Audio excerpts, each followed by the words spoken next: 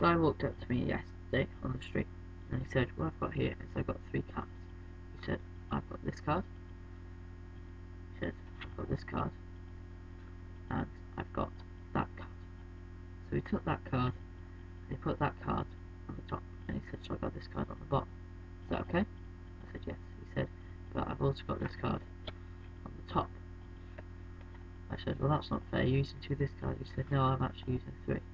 And showed me the this card. I actually put the this card back in the deck. And what he did from there is, well, I said to him, You got three this cards. He said, No, because there's that card. I said, Well, that can't be right. He said, Well, I've got another that card there. I said, Well, you're using two that cards. He said, No, I'm actually using three. I said, Well, that's not fair. You're using three that cards. He said, No, because there's this card, there's this card, and there's uh, this card. I said, Well, you must be cheating. He said, Well, what you find in this life is you get a bit of this. He said, You also get a bit of that, but you also get the other. Thank you.